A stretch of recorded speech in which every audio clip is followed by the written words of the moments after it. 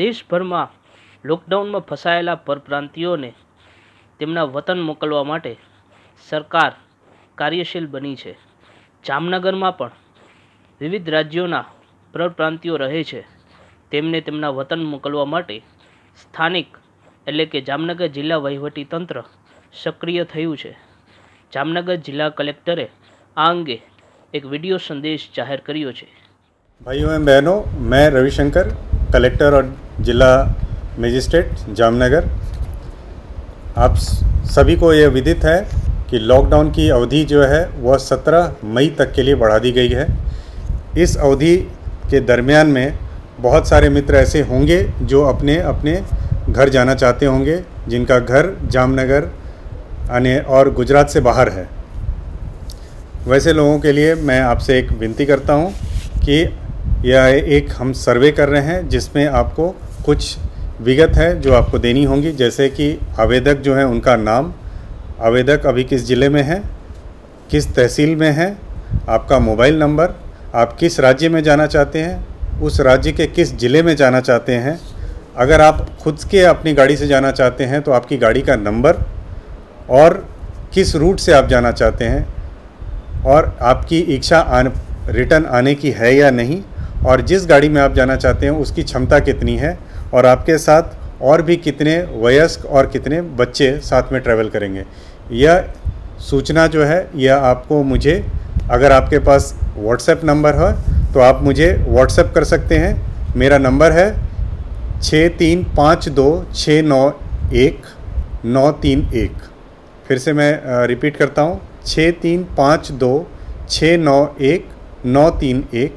उसी तरह छः तीन पाँच दो छः नौ एक, नौ तीन दो और इसी तरह नौ तीन तीन। इस तरह करके तीन नंबर हैं। या आप मुझे ईमेल कर सकते हैं go home dot jam at G mail dot com once again I repeat go home dot jam at G mail dot com अगर आपके पास ईमेल करने की सुविधा नहीं है या व्हाट्सएप करने की सुविधा नहीं है तो भी आप किसी भी कागज़ पर यह इन्फॉर्मेशन लिख करके आप तैयार रखें और हमें कॉल करें। शून्य दो आठ आठ, जो यहाँ का जामनगर का एसटीडी कोड है, दो पाँच चार एक नौ छः ज़ीरो।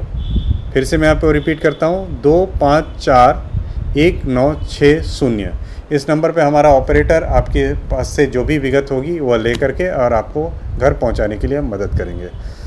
यह जो इन्फॉर्मेशन है, ये आपको एक सादे से कागज़ में लिख करके आप मुझे व्हाट्सएप कर सकते हैं, या मुझे लिखवा सकते हैं, आप इन थ्री इन्फॉर्मेशन के साथ आप तैयार रहिए। मित्रों, उड़ीसा, बिहार, झारखंड, उत्तर प्रदेश, उत्तराखंड, दिल्ली, पंजाब, हिमाचल, हरियाणा, जम्मू कश्मीर एमपी राजस्थान, छत्तीसगढ़, वेस्ट बंगाल, कर्नाटका, तेलंगाना, आंध्र प्रदेश, तमिलनाडु, केरला और महाराष्ट्र। इतने जिल, इतने राज्यों के लोग अभी जामनगर में हैं।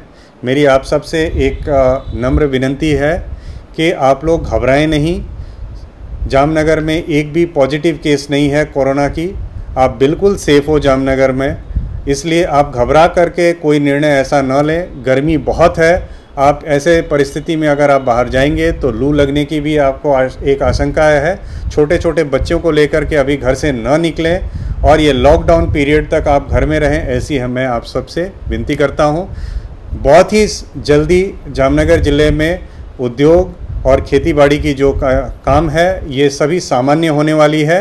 इसलिए अभी आप अगर जाओगे तो शायद आपको फिर से रिटर्न आने में आपको तकलीफ़ हो सकती है या आप जिस विस्तार में आप जा रहे हो हो सकता है कि वहाँ पर अगर कोरोना का संक्रमण हो तो आपको फिर से तकलीफ़ हो सकती है।